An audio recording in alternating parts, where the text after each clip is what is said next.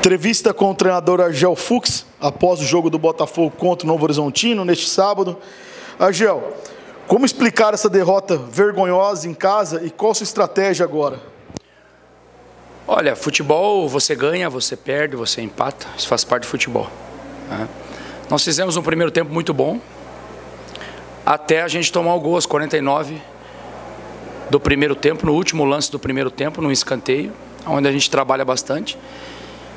Voltamos para o intervalo, né, acalmamos o time, demos tranquilidade. Nós estávamos no jogo ainda. Né, e o segundo tempo foi todo do Novo Horizontino. Se o primeiro tempo foi só a gente que jogou, né, o Novo Horizontino não conseguiu jogar no primeiro tempo. E acabou fazendo gol numa falha coletiva nossa, que já vem acontecendo várias vezes. Parece que quanto a gente mais treina a bola parada, é, mais problema a gente tem. Ah, então, o futebol é isso, o futebol é dessa forma. Ah, é inacreditável, mas acontece. Você fazer um primeiro tempo que nós fizemos, com o nível que nós fizemos, ah, e no segundo tempo né, a gente acabou sendo derrotado pelo adversário, porque o adversário foi muito melhor nosso no segundo tempo. Angel, a, pergunta, a segunda pergunta é sobre bola parada mesmo. O oitavo gol tomado pelo time de jogada de bola parada e o quinto em um escanteio. O time diz que treina para corrigir o erro, mas não consegue corrigir. Quem é o responsável por essa situação? E o time tem que se preocupar agora com o rebaixamento? Veja bem, o único responsável é, das derrotas é o treinador e eu estou aqui para dar explicação e explicar.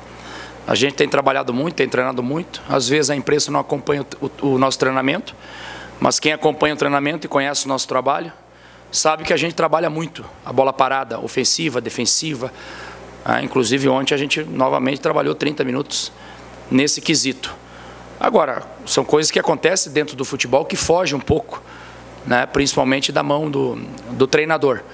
Ah, e nesse momento, eh, nós temos é que pensar em, em acabar o campeonato dignamente, né, com dignidade, né, colocando eh, o nosso clube eh, num patamar melhor, né, numa condição melhor, essa é a grande verdade. Ah, e o único responsável é sempre pelas derrotas é, é o treinador. E eu assumo essa responsabilidade com, com, com esse grupo que a gente tem.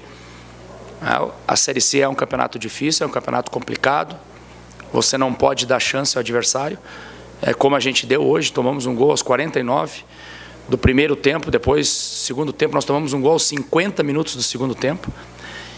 E, e já não é de hoje, a gente acabou tomando lá contra o Novo Horizontino aos 49, 1 a 0, né, 48.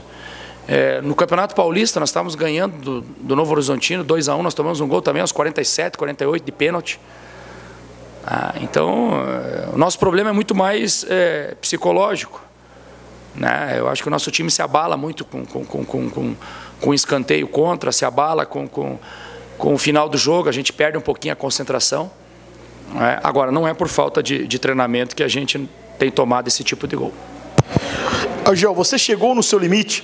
Você, como treinador, concorda que não consegue extrair mais nada desse elenco que no dia do seu aniversário te deu um presente de grego? Não, para mim o meu aniversário pouco importa.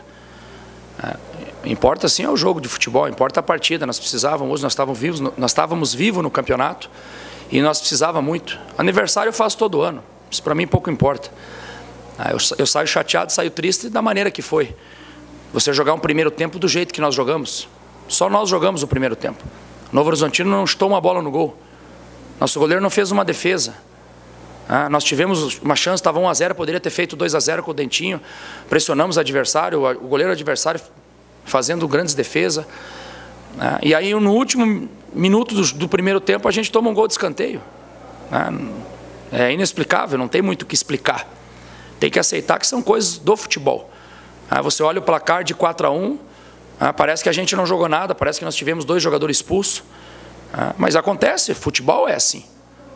ontem nós vimos lá o Mirassol tomar 5 em casa, saiu ganhando também de 1 a 0 como a gente fez, e tomou 5 a 2 de São José.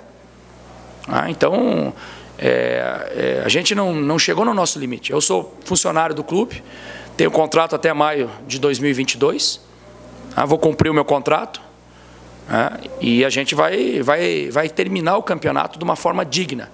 É isso que a gente, é, que a gente quer. Então é levantar a cabeça, né, pensar no próximo jogo, é, que a gente possa fazer uma partida melhor, principalmente o segundo tempo. É, a diferença é essa. O primeiro tempo foi um a um e o segundo tempo o adversário passeou. Né? Nosso time se abateu, nosso time não conseguiu marcar, não conseguiu jogar, não conseguiu chegar. Né? Erramos muitos passes, né? demos muita facilidade ao time do Novo Horizontino e, e, o time do Novo Horizontino é o líder do campeonato, é um dos líderes. É uma boa equipe, uma equipe que já está jogando aí dois, três anos junto. Né? Então a gente sabe da dificuldade que é, é o Campeonato Brasileiro, principalmente nessa divisão. Né? Então as equipes são muito parelhas. É, e é o detalhe que, que acaba decidindo uma partida de futebol. Agel, para terminar, a prioridade agora será a Copa Paulista?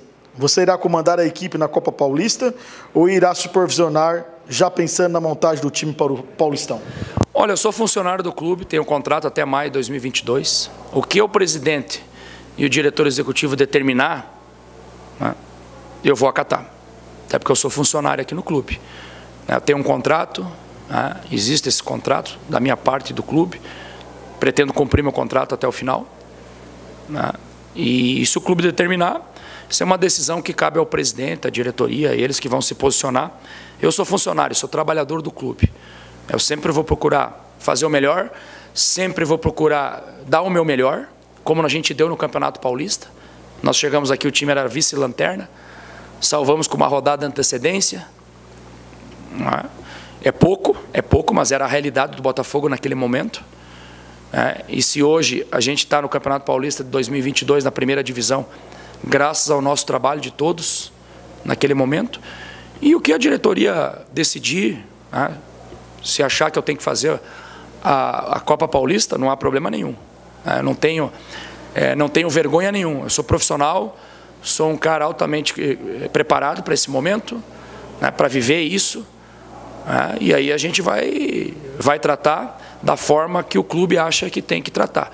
É, então eu estou à disposição do presidente, estou à disposição do nosso diretor executivo.